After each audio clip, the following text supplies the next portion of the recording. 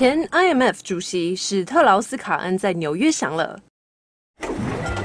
许多纽约客气炸了，因法院给前 IMF 主席史特劳斯卡恩假释特权。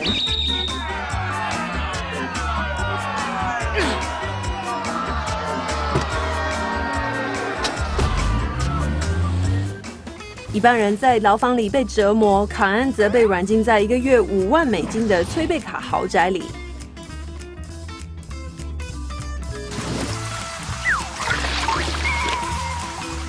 法国人也有怨言，因他们认为卡恩是被设计的。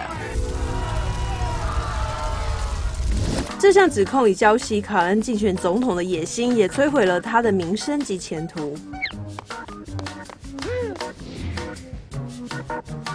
但之前被告强暴的两名纽约警察最近被判无罪，想必卡恩的律师一定很有信心将他脱罪。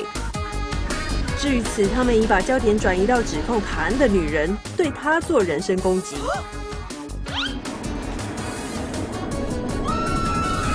想成为我们的动画人物吗？相关资讯请上脸书 Get Animated，find out more on Facebook。